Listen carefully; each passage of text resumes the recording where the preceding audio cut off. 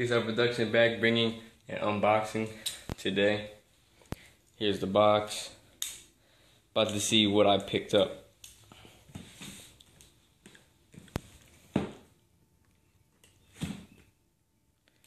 I purchased these from from eBay.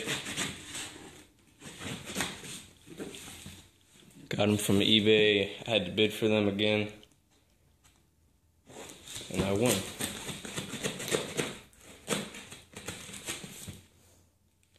I was glad I was able to pick these up for the price that I got them for.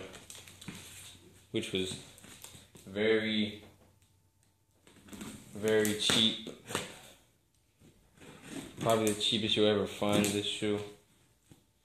And I'm glad for that.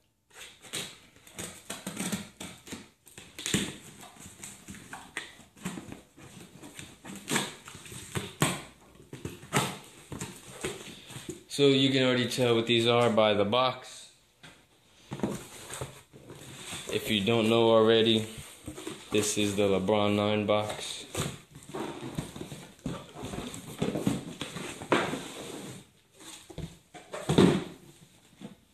Here we go. The LeBron 9 box. Let's see what these are.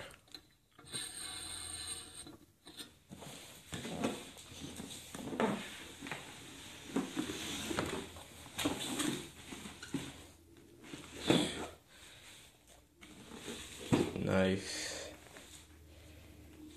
So we picked up the LeBron 9 Miami Night. Glad I was able to get these. Fresh shoe. These were used a couple times. They look good.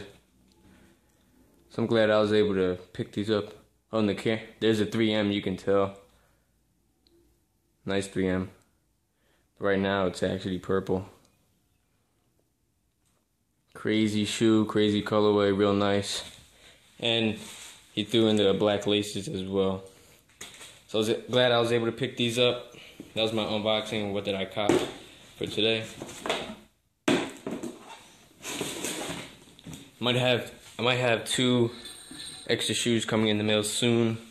So be ready for that and stay tuned for the review of these and the review of the All-Star LeBron 11s.